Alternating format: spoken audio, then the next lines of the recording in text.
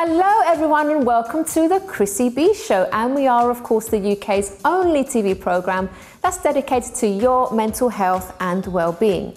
Now, we dedicate our time here on the programme to provide you with the best experts, psychologists, nutritionists, and fitness trainers to help you live your best life. Tonight is no different with Chief Executive of the Urology Foundation, Louise de Winter, here to tell us how to take better care of our kidneys and bladder. Later, makeup artist Sanni Sorma will be showing us how to turn your everyday makeup into an evening look, and stylist Nicola Noviello will be telling us how to rock short hair. We've also got Susanna Statton who will be treating to a makeover and hearing all about her story on how she overcame serious health issues. I'll also be telling you my top tips to stay positive during a loved one's illness, and fitness instructor Feyi Jegedi will be showing us how to tone our arms. Now, back to our well-being theme for today. It may not be something you think about, but our urine tells us a lot about the state of our bodies. Everything from the smell of our pee to the color of it can highlight issues with organs or simply indicate if we are not drinking enough water. But does this relate to the organs responsible? Well, one thing our urine can tell us is if we're looking after our kidneys and bladder properly. According to World Kidney Day, it is estimated that kidney disease affects over 3 million people in the UK but that up to a million of these people may be undiagnosed. Left unchecked, however, kidney disease can progress to kidney failure, which is fatal without treatment by dialysis or a kidney transplant.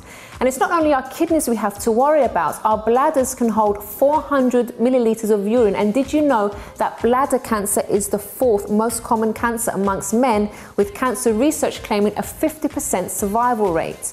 But if prevention is better than cure, how do we know the difference between a mild UTI and a more serious condition?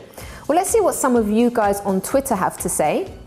Kidney Stones Fix says kidney stones affect all geographical, cultural, and racial groups. TO Health tells us of the benefits of basil with kidney related issues. They say basil has immense benefits right from clearing skin to dissolving kidney stones. Goth Crab says bad teeth can cause heart disease as well as liver and kidney disease. Carrie says, this busy season I have worked through bronchitis and a sinus infection and now working through a severe bladder infection. Tracy's trying to lighten the mood. She says, when you get a bladder infection, you're in trouble. Well, some interesting tweets there. And now to find out more, we have the Chief Executive of the Urology Foundation, Louise de Winter.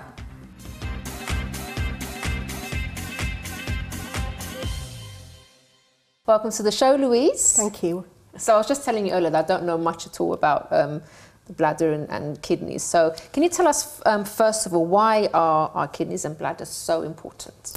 Well, actually, they're, they're part of the vital bits of our life. It, mm. They really are vital to our vital signs because without the kidneys and the bladder and the urinary tract, there's nothing that can dispel the wastes from our body. So it's important that they all work together okay. and they all work together properly all at the same time. So what the kidneys do, and they're sort of two sort of kidney bean shaped organs, yeah.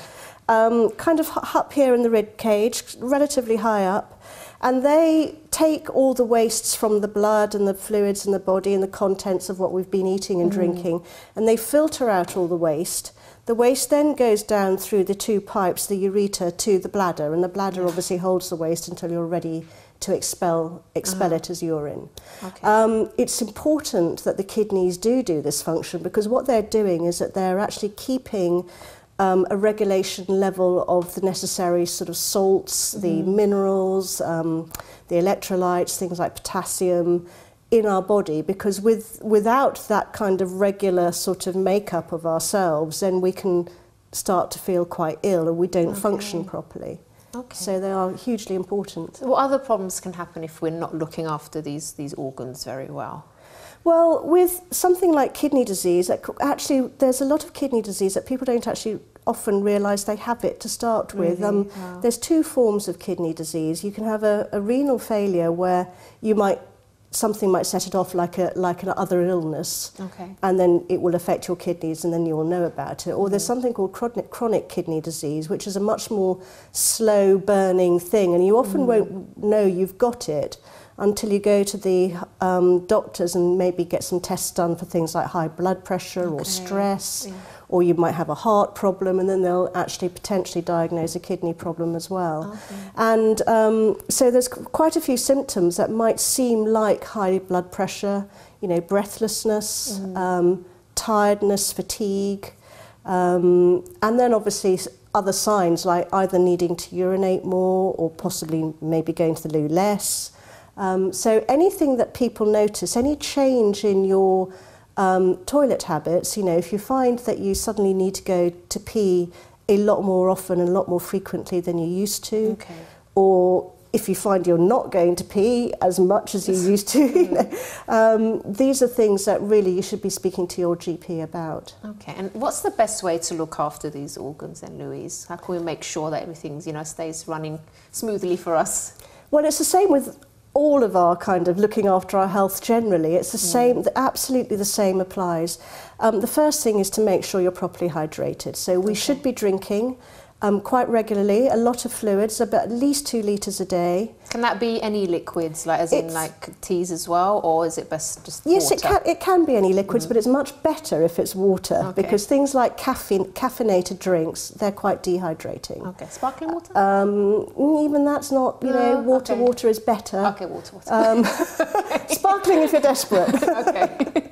The only sparkling drink I like is champagne. All right. Okay. Doesn't count a no, that doesn't count. but no, definitely. I mean, lots of fluids. Mm. Yes, of course, teas and coffees is fine. But some people find that that does irritate their bladder. Okay. Um, so try and avoid caffeinated drinks. Try and avoid fizzy drinks. Um, Mm. And then you know, make sure you're well hydrated. And the way to tell is the colour of your, your urine should be the colour of straw. Okay. If it's darker than that, that's possibly a sign that you're getting a bit dehydrated. If it's lighter than that, then possibly maybe you're taking on too much water. I mean, you know, oh, roughly, oh, you know, it thereabouts. Was, it was good when it was clear. I always um, that. Yes, that's not bad, yeah, but you yeah. don't want it to be clear, clear all the time. That means potentially that you're kind of, you know, it's too washing much. through, it's too much, yeah. Okay, then. Any other yeah. tips that you have to look after are our bladder and our kidneys? Um, well, certainly, yes, maintain a healthy diet. okay. um, because particularly, you know, the, the kidneys are doing the function of taking all the bad products out of us so that you don't want them to work too hard. So particularly if you want to avoid things like kidney stones and bladder stones, avoid too salty foods, not too many salty foods, not too many fatty foods, um, certainly not too many processed foods, you know, and things like too much red meat. Um, a basic healthy balanced diet, lots of um, fruits and vegetables, mm-hmm. whole grains, pasta, um, whole grain wheat, that sort of thing. Okay. Um, sensible diet, you know, and obviously don't eat too much either. Weight is important, and actually, weight is increasingly becoming increasingly important in cancers. Um, we're finding, you know, not just the urological cancers like kidney cancer and bladder cancer and prostate cancer in men, but other cancers like breast cancer in women. Mm -hmm. um, they think that um, obesity is is potentially a contributory factor towards wow. these diseases. So yeah. so people should really be thinking about maintaining a healthy weight as well mm. and exercising in you know too and a very sedentary lifestyle and particularly people who are bedbound they do tend to get things like kidney stones can build up. So Yeah. try and keep active and keep moving as well. Okay. And I if, mean, you, if you do, sorry, go ahead. No, I was just going to Yeah. say it's all Yeah. the things that we're told we should be doing anyway for our. people don't until something know, happens. If, if you do already, for example, have something like a kidney stone or, or you develop other things, what's the best uh, sort of sort of treatment then for, for these kind of things? Well, Obviously, it will depend on the condition, but y- yes, it does depend, but certainly yes, maintaining lots of fluids and hydration. Mm-hmm. Um, but then it might be that you you might have have to go and have it removed surgically. Mm-hmm. Um, I think it depends. I mean, you'd probably get scanned and they'd probably screen you and have a look and see what the stone is and how big it is and where it might be. Yeah. Um, it can be hugely painful. I've fortunately not suffered from them myself, but mm-hmm. I've had um, spoken to women who've had um, kidney stones quite badly, and they've, they've, they said it's much worse than childbirth. It's ah, a very, that, yeah. very I had a relative recently at, at um, hospital recently oh, because oh, really? of that as well, and she said she was screaming in agony because it was really awful. I have heard it's the worst yeah. pain ever, so I think if you've got one, you might know it. you, know. Um, yeah. and if you don't know, you're lucky. I mean, sometimes people, you know, sometimes the advice might be see if you can flush it through, drink a lot of fluid, but sometimes Yeah. they will have to be removed. Okay then. So Louise, can we also speak about UTIs because obviously they're very common. What Mm. what are the, the common causes and what are the you know the treatments available?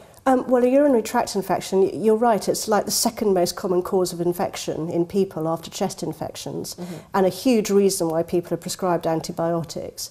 Um, the most common cause is basically bacteria getting into the urethra, which is the pipe out of mm -hmm. which we all pee. Um, they're more common in women simply because women have a shorter gap between um, the urethra and the anal passage. Mm-hmm. Um, so that's why we're more prone to the bacterial infection. Yeah. Um, what's very important about UTIs is as soon as you know you've got one, is obviously you've got to treat it because mm-hmm. if you leave it, if you're very unfortunate, the infection can travel up through the bladder up into the kidneys and that's when it gets wow. very serious yeah okay um, and you can potentially damage your kidneys so so you shouldn't try and just sort of get rid of it yourself then like with I would always recommend going to well I mean I don't know I mean some people suffer from them quite frequently yeah. mm -hmm. um, and you know it's very debilitating I gather so some people might think well I know what this is I can head it off at the pass you know I think I know yeah. what I can do to kind of deal with it. But I mean, I would always, in the first instance, go and see the GP and see what the yeah, GP recommends you do. Okay, then. Is there is there anything that people can do to prevent them in the first place, apart from sort of obviously drinking water and things like that? Well, again, being very aware about cleanliness, always mm. washing one's hands, and being careful how you wipe your bottom when you mm. go to the loo. You know, you should always wipe front to back if yeah. you're a woman. Um, and drinking healthily, eating healthily, um, mm -hmm. really, you know. And is cranberry, you know, drinking cranberry juice, does that really help or is it well, for even I prevention? Mean, people say it does. Yeah. I mean, I just don't know, to be yeah, honest with yeah. you. Um, I don't think there are enough studies out there. I think there was a study that came out about a year or so ago mm -hmm. where they they claimed that um, there was some property within the cranberry that had some kind of bacterial repelling effect. And if that is so, that would be hugely exciting. I mean, I wouldn't dismiss it. I mean, if it works for people, I think it yeah. works. Um, okay. That's great. I mean, I think there is something in it. The only thing is that there's an awful lot of sugar in cranberry juice. Yes, yeah, you can't you really drink it straight, can you, because so, it's so bitter. So, absolutely. So, yeah. you've got to weigh off one against the other, really. Okay, and how about um, UTIs in men as well? You said it's obviously less common, but how yes. do they manage to contract them? Well, often it's related to the prostate in men, so it could be uh, uh, something like prostatitis, an infection in men, and it travels up okay. into the bladder and it becomes something like cystitis. Right. Um, so Just that's painful for them. I that's suppose, more yeah. likely, I presume, how they're more likely to get it. But men do get UTIs. So yeah. again, I think there's a myth that they don't get them, but they do. Mm-hmm. Um, so again, if they're feeling uncomfortable, if they're feeling like they really need to urinate a lot, they've got this urge and it's painful or it's itchy or there's yeah. a burning sensation, they must go and see someone. Okay. Um, and one very cardinal thing, if I may, mm -hmm. um, to say to everybody, um, you can get blood in your pee if potentially you've got a UTI, and that's a relatively minor infection mm. and it can be treated with. But blood in pee is a very cardinal symptom of all the main urological cancers. Okay. So if you see blood in your pee, go and see your GP, even mm. if mm-hmm. it's only, even if you only spot it the once, or it comes and goes, it's very, very important okay. to get yourself checked out and to make sure it's not a cancer. Louise, thank you so much for that because even You're that, just that last bit that you said, that could potentially save people's lives. Thank you so much for all the information that you've given us today. It's been really useful. Thank you very much. You're very welcome. Thank you. All right, guys, so don't go away because after the break, we have makeup artist Sanni Sorma and hairstylist Nicola Noviello showing us their tips for today.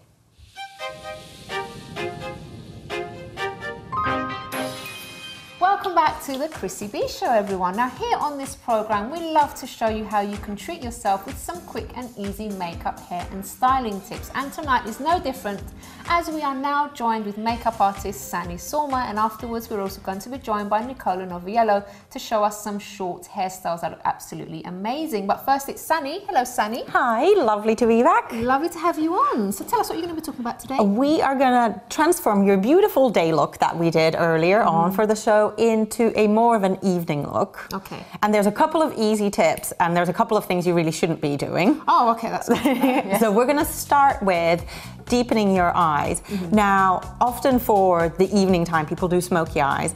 And if you're using dark eyeshadows, they can fall kind of on the top of your cheekbones and then make you look tired and they'll just accentuate eye bags. So what I like to do is use a cream shadow. This one is in a stick format. You can get them in pots. Mm-hmm. You can get them in all sorts of things. This is not going to fall anywhere. So if you close your eyes for me, I am just literally dotting it on your eyelid, right on top of the powder eyeshadow. And then before it has time to set, I go in with a fluffy brush and I just blend it all out. And this is like an excellent way to do a super, super quick smoky eye. It's gonna last for ages because there is powder underneath and you can just very quickly deepen your eye look. And if you open your eyes for me, I'm also going to go just a little tiny bit under. And I'm going to use a smaller brush to blend that out. And it just kind of gives you kind of like I would call it a semi-smoky eye. I'm not going to go and do your whole eyelid mm-hmm. with that smokiness, just literally the outer edges and a little bit under. And it kind of just makes your eyes look more intense for Oh, the night that's time. I am going to do your other eye as well so that you're not completely lopsided. So if you're using a cream shadow from a pot, it's actually even easier just for purposes of doing it here. Mm-hmm. It's more practical for me to use a pencil. But the main thing with cream shadows is really blend it in before. And this way we're not getting any kind of fallout whatsoever. Mm-hmm. So because often like by the time you change from your day makeup to your night look, you're already tired, so you really mm. don't want anything. And look up for me. You really don't want anything at all. Can I turn you just a little bit more? Perfect. But you, don't- can wear the cream ones during the day as well, can't you? Of course you can, yeah. This is just like I used a different color stick as an eyeshadow base for you earlier when we did your mm-hmm. when we did your day look. Lovely. And then the next thing is shimmer. Everybody, everybody loves a little bit of Little bit of shimmer. shimmer. I love these little shimmer pots from Makeup Forever. Everybody does it. Barry M does like amazingly cheap ones. Well, that's very shimmery. I know. This one is absolutely amazing. And you don't, again, with this, you don't need to be too careful at all. I just take a little tiny brush and close your eyes. And I'm just going to apply a little bit on the lid, just straight on top. So if your eyeshadow has creased a little bit during the day, this is also a good time to use a brush and just spread it out. And it just gives like that extra little something. And look up for me. I'll also put a tiny bit on the inner the corners. corner, just a little tiny bit. And a little bit of sparkle. And now we're going to freshen up your eye, uh, not your eyeshadow, sorry, your foundation because Okay. in case you know you have any fallout from the day or if any of the little sparkly bits kind of got in there, I'm going to use a small brush and just go around the eye area. Often on the nose area, your foundation can wear off a little bit, especially if you've blown your nose. And just kind of go in patches. You're using the same foundation as you did in the morning, so you don't have no, to do. it's quite a tiny amount that you've put on there, but it's just you don't have small. to overdo it, do you? And sometimes it's just enough Yeah. blending the foundation that's mm-hmm. already there. You don't really need to do anything more at all. And at this point, you could powder if you wanted to, or you could deepen your blush a little bit. So I'm using exactly the same blush as I did on you before, and I'm just adding a little bit more. Evening lighting often is, well, unless you are in a really brightly lit space, evening lighting is a lot more forgiving. So a little bit of a deeper color, brighter color mm-hmm. comes in. And if you're in candlelight, the best lighting of them all, as we Oh, know, yes. it's Look good in even better. And then, well, second to last step, I was going to say, is brighten or deepen your lip color. So Mm. whatever, because now we've got kind of like a very natural pink, and I think with you we're gonna go because you do like an orangey red, I don't do, you? yeah. I don't like Yeah. red. I do not like red. Not, not for TV anyway. I've got this thing. I will not let them make Oh, up. They know, they always I try. tried. But I can do an orange. I almost got there earlier on today, but no. No, I'm going to take it off the yeah. So I am going to use for Chrissy, I always use kind of like most of the colors come from this line. So they're all orangey or peachy, salmony sometimes, Yeah. kind of colors. And stay with the same color palette that you've used before, but just make it a little bit deeper. I applied some lip balm on Chrissy just before we started shooting so that your lips are super, super moisturized because obviously during the day, everybody, all women will know that sometimes lipstick wears off in really uneven mm. ways or it kind of cakes into the corners of your mouth where if it dries up. So a Q-tip and some very moisturizing lip balm is probably my best tip to get rid of that old kind mm. of lipstick and turn your head a little bit more. It's funny, everybody always kind of instinctively knows the type of colors that suit them because you always look amazing in orangey colors. See, now, now, now you can't say anything because I'm doing your lips. I can't see at all what she's done. You have no idea what I've been doing. We're going to have to show you a mirror oh. afterwards. I trust you, Sanni. Oh, you're looking very sparkly. Thank you. But I do, yeah, I really love you in this kind of cor- coral red. It just oh, suits you so well. And then we're almost done. My last tip, I can't actually show you physically Okay. because like I, I don't want to spritz you with a perfume that you don't wear. But this is always my last tip in getting ready for the evening Yes. is whatever perfume you've been wearing, spritz it again because that will kind of like just lift your Freshen spirits up everything. and be ready for the evening time. Lovely, Sanni. Thank you so much. You are Thank very you for welcome. turning my day look into an evening look. Thank You are so welcome. And we'll see you again next time. Perfect. Right, guys. So now it's time to speak to Nico Noviello. Welcome to the show, Nico. Thank you so much. And welcome to the beautiful Lauren as well, who's our model for today. So. So, Nico, what are you going to be telling us today? Uh, today with Lauren, I'm gonna be talking about hair, short hair. Mm-hmm. Um, 2017 is something that is back now to the market, and women they wanna go through changes. They wanna see them looking sexy, feminine, and uh, um, elegant in the same time. I mean, some people say that short styles on women aren't feminine, but she looks absolutely amazing. She's absolutely, you know, um, yeah, definitely amazing, but also the way she brings the haircut that is gonna make a, a huge difference. Yeah. And Lauren has inspired me tonight, and looking also about Ruth Bell, the model, the famous model that she does modeling uh, with uh, Christian Dior.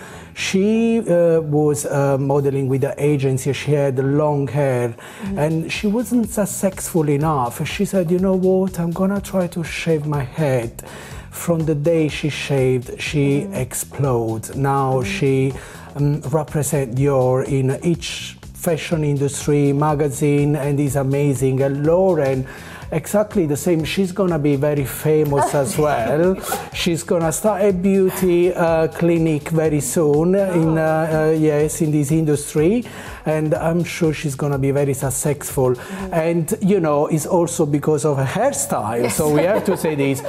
Basically, what I'm gonna be doing, I'm just gonna demonstrate. You know, with the just cream, you can achieve this kind of uh, texture throughout the the head, and you just gonna massage exactly and then just use this amazing texturizing spray from Oribe you know it's just gonna touch the hair you know very gently and you know you just place one hair from one side to the other and look with the less you achieve more Yeah. and then with you know I'll find a little touch hair refresher from Oribe you know smells really nice. it smells Yeah. lovely. It's just amazing, and uh, you know it brings back short hair in 2017. That's where we're gonna go. Yeah. We're gonna see lots of beautiful women walking on the streets in the near future with short hair. Especially after they've watched this segment. Definitely. Isn't it, Nico? Yeah. Yes. Yeah. Nico, Great. thank you so much. Pleasure. Thank you so much Thank for you, having Lauren, me here. our model for today. You look amazing. thank, you. so much. All right, guys, so before we hear from guest Susanna Statton, here's an easy recipe by Danielle Shine on how to make healthy chocolate chia pudding, which is another way to keep your body happy and healthy. And let me tell you, I made this yesterday and it tastes amazing. Everyone, I'm here today to show you how to make a very yummy breakfast meal. Starting with one quarter cup chia seeds and you're going to need a jar with a lid. So pouring that straight into the jar, this is really, really easy to do. You can do on the day of or the day before, it's up to you. Quarter cup cacao powder. You can also use cocoa powder, whichever chocolate powder is your favorite. Straight in there. Then we're going to do a pinch of sea salt, which is really great for minerals. No table salt allowed, sea salt. It's just healthier for you. And one teaspoon of cinnamon straight in there. Now this part is an additional extra. This is natural sweetener honey. You can leave it out if you like, but I like to keep it in. You can take up to about a tablespoon. I like my chocolate chia pudding pretty sweet. Honey's a really great antimicrobial sweetener as well, so it's quite health supportive. And now we've got one cup of coconut milk. So you've got your dry ingredients with your honey, and then we simply just add in our wet. And at this stage, this is how easy it is. Lid on, shake it up. So shaking it up, you can see that everything's combining well. And with the chia seed, which is a fantastic source of protein and omega-3 healthy fats, you can just mix it in here and the chia seed will slowly expand and this becomes very porridgey. And it's delicious cold, it's delicious heated up. In fact, a lot of the time I like to make it the night before and then I'll jump out of bed, come and get it from the fridge, and then I'll just take it straight back to bed with a spoon. So if you want it the day of, 10 minutes in the fridge, and then it'll be ready to go, or you can make it the night before. I hope you enjoy it as much as I do. Thanks for watching, see you soon. Thanks so much to Danielle there. And if you've got any photos doing these recipes, please do show us. You can email us on info at chrissybshow.tv.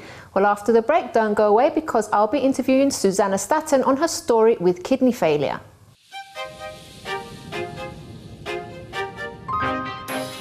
Hi, I'm Chrissy B and my show is all about improving your mental health and being happy. Join me every Monday, Wednesday and Friday at 10pm on my channel Sky 203. Visit chrissybshow.tv for more information and subscribe to our YouTube channel, Chrissy B Show. You can also follow us on Twitter and Instagram at Chrissy B Show and on our Facebook page, The Chrissy B Show.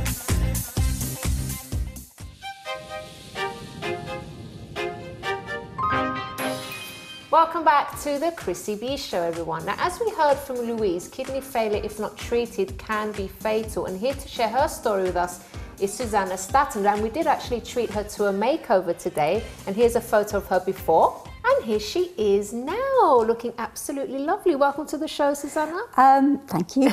I'm absolutely happy to be here. Did you enjoy your makeover? I had a fantastic time. Thank you. Brilliant. so now it's time for you to tell us your story because you have been through so much with your health. But you know, you have come up on the other side. You're doing so well. You're actually a coach now. But we're going to get to that in a bit. But can yeah. you first tell us when did the health problems start to develop? Um, I had no idea that I had any problems at all um, until uh, I was in my mid 30s, and it was just mm. after. I had my son, my blood pressure just wouldn't go down. It was just it just stayed up. Wow. Um, and I did all the, the right things that I, you know, I felt like I knew about health. So I, mm. I kind of um, ate a low salt diet and all of that, but it, none of it made any difference. Right. And then um, and then a blood test showed that I had some problems potentially with my kidneys, and then a scan showed I had cysts on my okay. kidneys. Um, and I was told this is a genetic condition, and you know you you will eventually lose potentially lose the, the function of your kidneys. But then it was. But you never had problems with your, or nothing had been diagnosed previously, or never had any inkling mm, of anything wrong. Nothing at all. Did they say how long it was? It was like that. Your kidneys were like that. Um, we don't know exactly when the, the cysts started to form. Mm. Um, but the, the, often when, when that's, that, that condition is diagnosed, it can be um, a very different length of time for each individual before Okay. it hits kidney failure. They Yeah. can't actually predict how, particularly I think, because I didn't have anybody else in my family that had the condition, Mm-hmm. um, where where it exists in in the family and it's known about. Often you can tell Yeah, yeah. Um, how fast it's going to go. Mhm. So it was about ten years later that I actually hit the stage of end stage kidney failure. So t- tell us sort of what you went through mentally, what started to happen physically, maybe some of the treatment you were having. What, what was going on? Um, I, I think I feel as though I had two kind of reactions, if you like, because because it was like having two separate um, diagnoses in a way. Because the first diagnosis of oh you've got this polycystic kidney disease, um, but hey, don't worry about it for the moment because you know it's um, it's it's fine. We just need to monitor you. Um, so there was the initial fear, and I did that awful thing where you. You know, you, you go and do lots and lots of research, which Everyone, why does everyone do that? Everyone I don't know. it, yeah. I think you know when- if you're a if you're a healthcare professional, that's a good thing Yeah, to do. yeah. But actually, when you're the patient, it's No, probably no, not. no. um, so I scared myself totally, um, and uh, and I, you know I, I got really quite down about it and quite depressed. Mm. And the worst thing was I just felt like. I'm not the kind of person that can actually face some of what I was reading about. You know, I was sort of thinking, I'm not that brave. I can't do that. Um, and I actually kind of felt, you know, uh, I, I, I I actually did have a, a brief moment when I just sort of thought perhaps I'll just kind of take things into my own hands or something. Really? Thought I, as in I did. I had just had a life? brief, brief moment of it, Okay. um, and there was a very lovely lady I was working with who said to Mm-hmm. me, who sent me a letter and said, put it in my drawer at work and sort of said, you know, like these are the reasons why you absolutely should not do this. Um, and I wouldn't have, but it was, it just, having that letter then, it just made me realise, oh, you know, hang on, um, Mm-hmm. I don't want, you know, I don't, I would just want to get on with my life and I just want to make this a positive thing. Yeah. So um, I, I, for many years, I, I forgot about it. I just went to my appointments every six months and I just forgot that I had this disease. I just, you know. Did um, you, or, or was it like sort of you were just pushing it to the? To the I was back of my pushing it to the Yeah. back of my mind. You know, I, I wanted to just live the stress a was, was the normal stress life. was there still? Would you say, or There was, I at the time, I because I, had. Um, it's it's interesting because I, I had other stressful things going on Okay. at the time uh, in work. You know that I had a very uh, stressful time at work, um, and I think to a certain extent, sometimes I think maybe I focused on that Okay, um, yeah. because actually that was an easier stress to deal with than Oh, potentially the stress. I don't Yeah, know, but yeah. you know maybe maybe they were. I mean that the work thing was a stressful thing as well, Okay. but it's it's interesting that well that felt a bit easier to deal let's with than anything else. Okay. So you're still having your treatment and everything. So still having treatment, and then all of a sudden, um, the only thing I noticed was that I had got a little bit more tired, um, and I did have an episode where I I. Um, I, fainted on a bus, and um, I, I just happened to be I happened to be going to um, to a hospital Oh. at the time. So um, so I as I got off, I, I walked in and just um, pitched up at the uh, the centre for blood pressure um, in the hospital, and I had no virtually no blood pressure. Oh, it was it was it was so yeah. low. It had just sunk so low.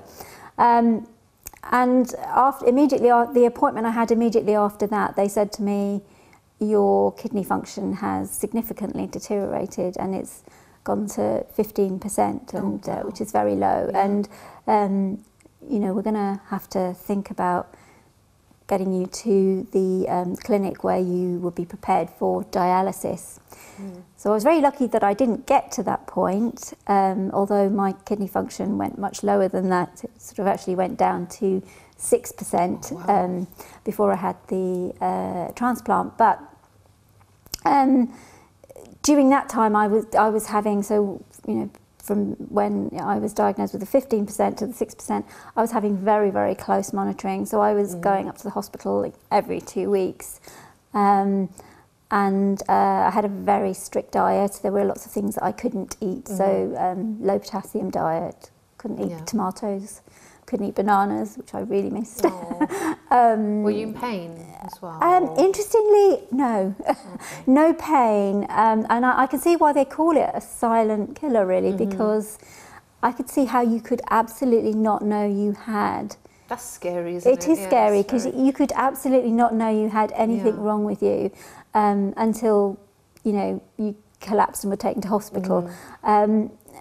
So yeah, I, I mean, um, apart from the diet, uh, I, I was still at work and I was still running around in, in quite a, um, I, you know, I think I was determined that I was going to keep my energy levels up. It was almost, this was almost the bargaining bit of the grief process. This is me sort of saying, if I just keep going and just, you know, don't allow myself to to it feel it, yeah. then everything will be okay.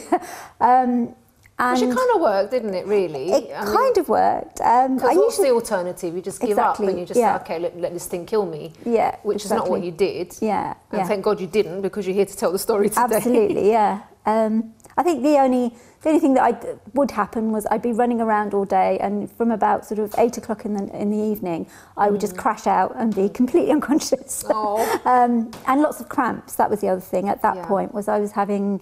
Um, yeah, my my legs. I was having Mm. um, sort of muscle cramps in my legs, um, and they were happening on a daily basis. Um, and probably the other thing that I at that point because I was experiencing some symptoms at that point. So uh, as it got down to six percent kidney function, I was having um, uh, Raynaud's disease. So in, in the tips of my fingers and toes, I was getting um, very, you know, numb. Uh, and fingers would just go numb, uh, which was a bit scary. So- Of course. Yeah. yeah, but um, yeah, so I, I was having some symptoms. So then you had the, the kidney transplant. then How, yeah, how did that come about? uh, well, my husband said as soon as he realised that he, he um, that, that, that this was happening and that I, I needed a transplant, he said, well, it's a no-brainer. I will be tested and I see if I can give you a kidney. Yes, and he's sitting in the studio over there. Yeah, he's there. Bless him, Brian. Thanks, Brian. okay. Um, but um, I um, Were you happy with for him to do that, or were you a bit worried?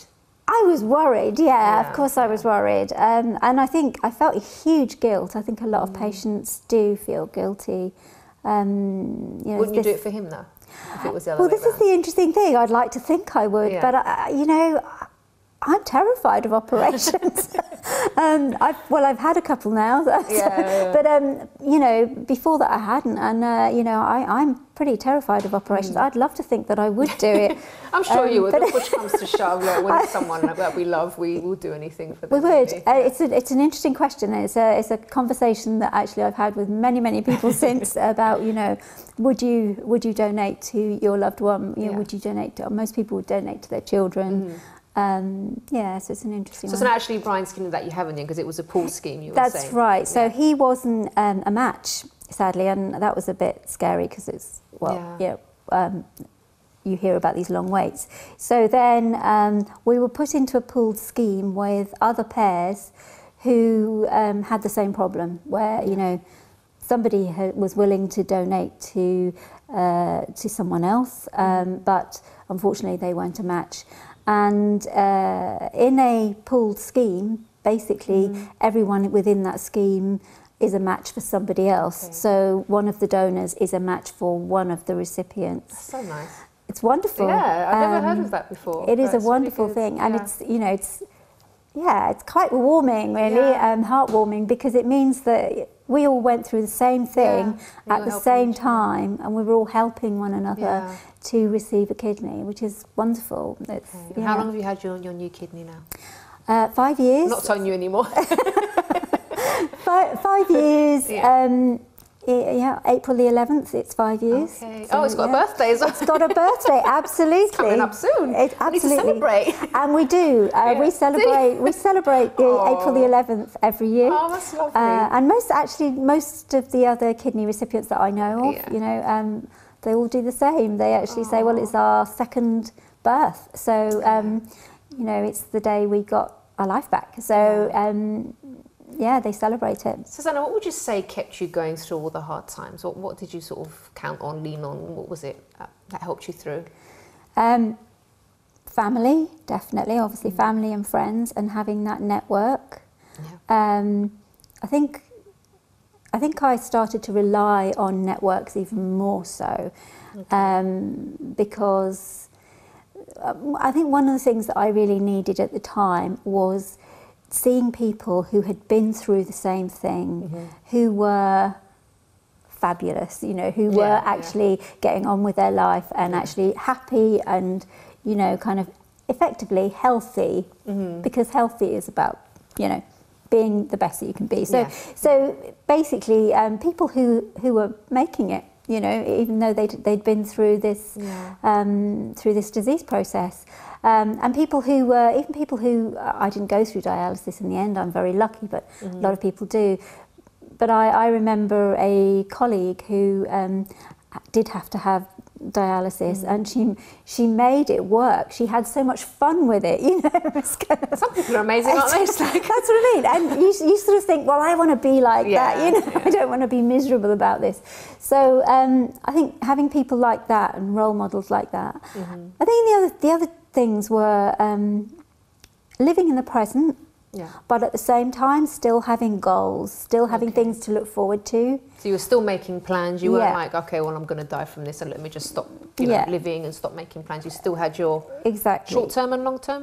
Yeah, Yeah. absolutely. Still sort of thinking, okay, so aside from the kidney, if I if I put the kidney disease aside, that's just one little bit of me. Yeah. There is, you know, that I am not my disease sort of thing. Yeah, I am, I am much much more. So. Um, what are my hopes for the future? What what goals am I going to set in the next week or two weeks? And then what am I going to be doing in you Yeah. know six months' time, and a year's time, and, and having things to look forward to, Yeah. and just you know having events to look forward to that Yeah. keep you happy and keep you, you know. Um, so that was yeah. I think that's Susanna, important. you've actually written a book as well, haven't you? I have. What's yes. it called? Uh, it's called Wendy, the Warrior Woman, the Mutant and the Sexy Alien.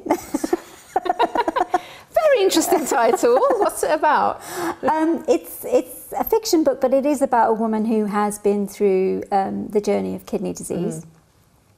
Um, and the, the strange characters that are the title Yeah. um, are the the parts of her that she finds that can. That, so those parts of her that you know these characters are parts of her. One represents her courage, and another represents her compassion.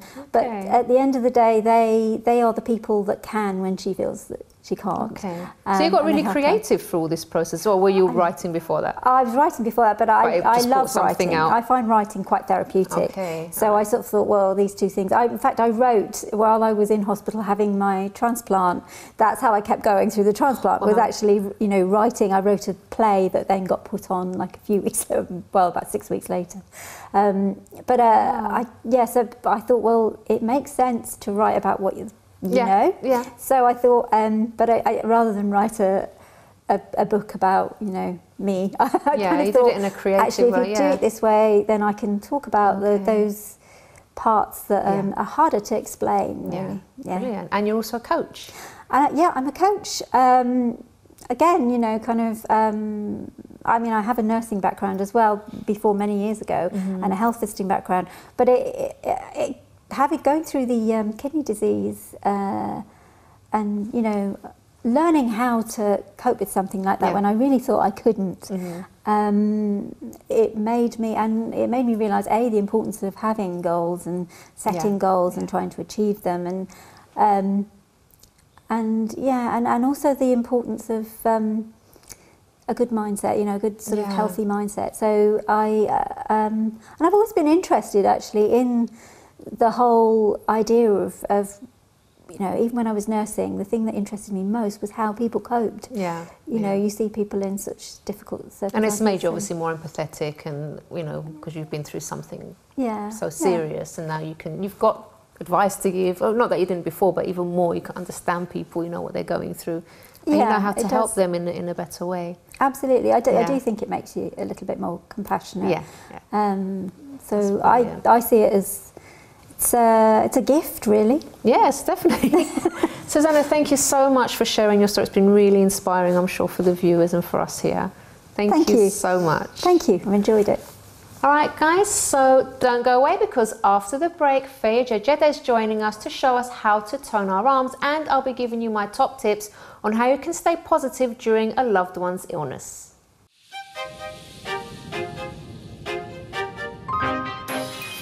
Welcome back to the Chrissy B Show, everybody. Now, before I give you my top tips, here's Feyi Jegedi on how to tone our arms.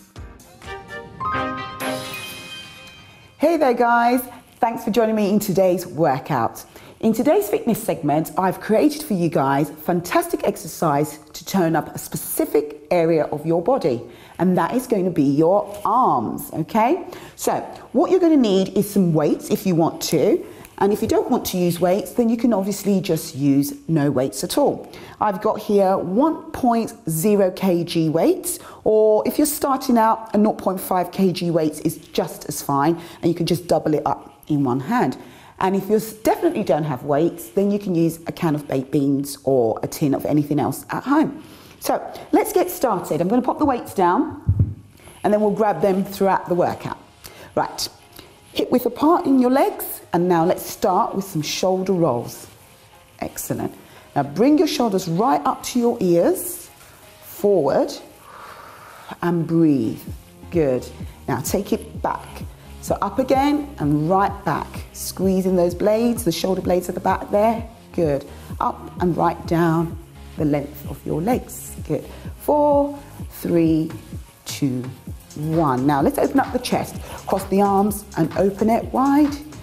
So taking the arms diagonal. Good. Breathe. So what we're doing is opening up the chest, getting it ready for the workout that we're going to do. Okay? So cross. And I'm just looking at my fingers just to make sure that I'm stretching it nice and wide. Good. And that's four more. Three. Good. Two and one. Excellent. Now grab your weights and we're going to start with doing some shoulder presses. Okay. Now, keep your arms bent in an L shape on both sides and we're going to bring everything back down in line with your shoulders, okay? Here we go. Now squeeze the weight at the top, okay?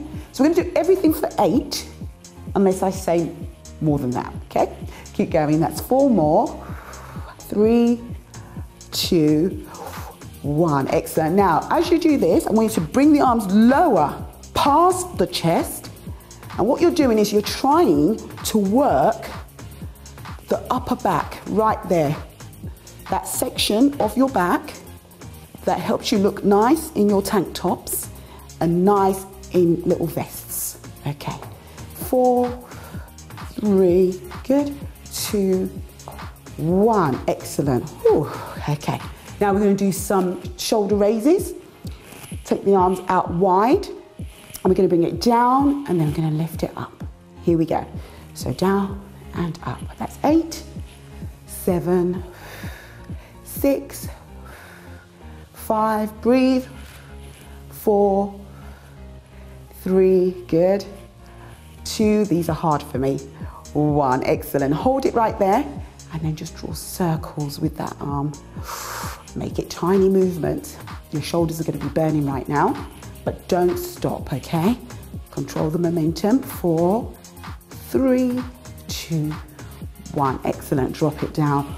Oh, shake out those shoulders.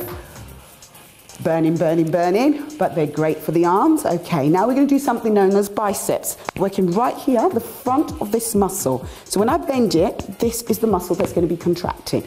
So keep your arms very tight into your waist, and then nice and tall, okay? And you can keep a slight bend in your knee if you want to, and then we're going to contract. Lift and lower, okay? Good. Keep going, breathe. Excellent.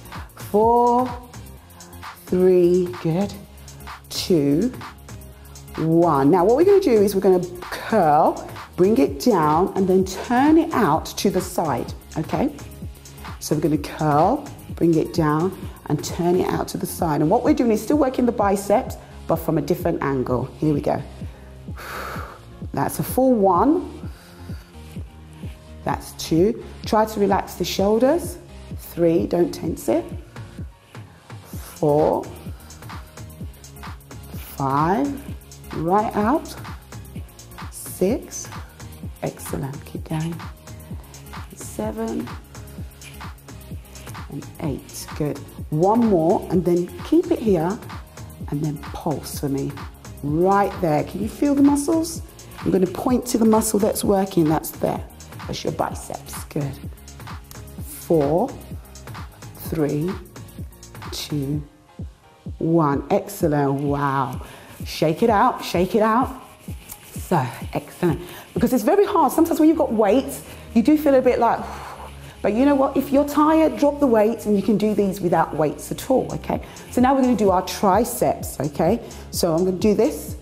I'll drop one of the weights just so you can see what I'm trying to do. And we're gonna do tricep extensions. So I'm gonna take it up. So you're gonna put your hands on both waists and then you're just gonna press it down. And this is your tricep right here as I'm standing on the side. So up and down. So you're keeping your elbows as close to your ears as possible as you reach down with your arm. Okay? Find a spot in the room and just concentrate on that as you do so. Good. Four more. Four. Good. Carry on. Three. You're nearly there. Two. And breathe. One. Excellent. Wow, that was a killer. Really, really hoped you enjoyed those workouts for the arms and of course a little bit on the shoulders as well. Thanks very much to Feyi there. So now here are my tips on how you can stay positive during a loved one's illness. Of course, when uh, someone that we love is in hospital, it is very stressful for everyone and you know, emotions are high. You, you want to put all of your attention to that person. You want to take care of them. You want to give your best for them. But you know, it, you have to be really careful. And actually, this takes me to my very first point, which is to take care of yourself. So are you eating right? Are you getting enough sleep? If, for example, you're in the hospital the whole time, this can be really, really draining. And I remember when my dad wasn't well, my mum was there constantly. And she, she didn't want to leave his side in case something happened. She wanted to make sure everything was okay. But it is, it can get really, really stressful. So if you are in a situation when you, where you are, you know, you want to stay with your loved one, at least go for a little walk maybe in the hospital grounds, just, just to, you know, clear your mind because it can be very overwhelming with doctors and nurses coming in all the time and so much going on. And you do need a little bit of a break. Of course, you know, I know you might not want to go home and spend the night at home because, you know, you want to be by their side, but at least go for a walk somewhere. You need to, you know, it will help you to stay strong and for you to look after your loved one even better. My second point is to ask questions. So this may annoy the hospital staff, but you have a right to know what's going on, especially if your loved one isn't able to ask the questions themselves. So ask questions about maybe what the machines are for, about the medication that your loved one is taking. If you notice anything different about your loved one, then you know make sure you flag it up because sometimes unfortunately hospital staff sometimes they're overworked they're tired they can accidentally give you know your, your loved one the wrong medication do something wrong. So if you're not looking out for things and you're not um, you know asking questions so you know how, the best care you know what medication that your your um, loved one is taking things could go actually quite wrong. And this happened to a relative of mine. So do do know do look out for signs. And sometimes you know you know hospital staff change they have different shifts and they, they can make mistakes. So make sure that you, you know, you are able to, to ask the right questions to get the best help, but make sure that you stay calm as well. And my third point is to be honest about what you need. So there are times when you will want people around you and you know you want people to talk to and that's fine but there are other times when you just want to be left alone and you need to rest your head and not talk to anyone. So if you're not up to floods of visitors coming to the hospital or loads and loads of phone calls, just politely say so. Don't feel bad for that. Sometimes it can be really overwhelming. You're already dealing with what's going on with the person that you love, and then to have to kind of be I won't say like kind of entertaining all the visitors that come as well and you're already tired, it can be really, really difficult. And actually, maybe your loved one might want that quiet time too. And I know it's nice that, you know, people visit you. Of course, you'd rather have some visitors than no one caring at all. That's not what I'm saying, but you have to kind of just be honest about what's too much and what's acceptable. And people will understand. But even if they don't, you're the one in hospital looking after your loved ones. So you need, you know, you have to put your needs first. All right, everybody, so we have reached the end of today's program, but don't forget if you have a story that you would like to share on this show, maybe you'd like to be treated to a makeover, please do get in touch with us. You can email us on info at chrissybshow.tv. You can also tweet us at chrissybshow or leave a message on our Facebook page, The Chrissy B Show. And if you want to know more about me and all the problems I had in the past, but beat every single one of them, you can go to my personal website, which is mylifeafterdepression.com. Until next time, bye bye for now. And tonight is no different with Chief Executive of the Urology, Urology Foundation. Oh, silly woman. Here's an easy recipe by Danielle Shine on how to make healthy chocolate chia pudding, which is another way to keep your body happy and healthy. And let me tell you, I made this yesterday and it tastes amazing. I really did, it's Thank really you. nice. Oh, it really, it's delicious. Email us on info at chrissybshow. I forgot, sorry. I'm gonna apply this amazing styling cream from Oribe and then you know on damp hair basically Lauren she just had her shampoo done so basically I'm just gonna apply if it comes out